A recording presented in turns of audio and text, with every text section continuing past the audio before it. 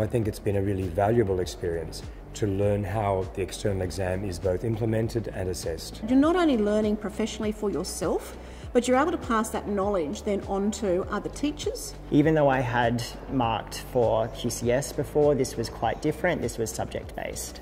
So it was very important to me that I understood the way that the external assessment is marked so that again I can take that experience back to um, my school. To be more familiar with that part of the system and to better prepare my students for their external exams this year coming. Working previously in school-based assessment, uh, I was curious as to how things can be done on a broader scale and I've been able to bring some, back, some of that expertise back to my own school.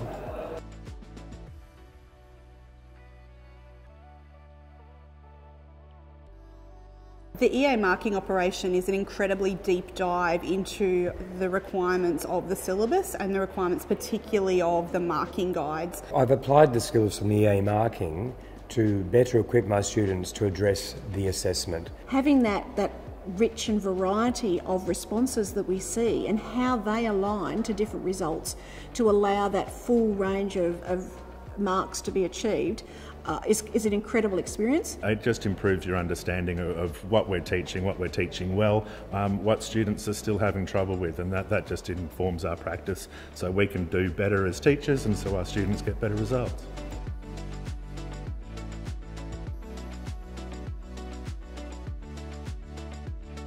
Some of the ways I've applied those skills is I've used for example, the previous year's marking guide, and I've used that with practice and mock exams in, in class. Um, so I've taken students through that process. I've explained, well, this is the way that I was trained to mark it previously. Um, I, I did say that the marking guide may change, and, you know, as it's tweaked every year.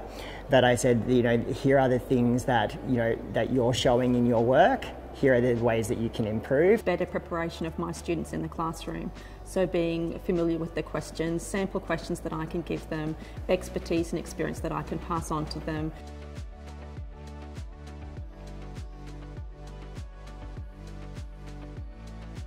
So becoming an external assessment marker is some of the best professional development that I've ever done. Gives you a, an insight into the process, you pick up some skills and just with the other assessor roles gives you some, uh, you'll meet people and uh, develop a network that you can rely on. The collegiality, the collaboration that you get with others that are around you, developing those understandings about what the EA requires your students to do is completely invaluable. I've recommended to all my teachers and all my colleagues uh, and in the whole marine teaching network that they get involved with marking these because um, we really want to have uh, subject specialists marking these exams. I'd advise strongly that people learn to become EA markers so that they can better, again, enable their students to address what is required.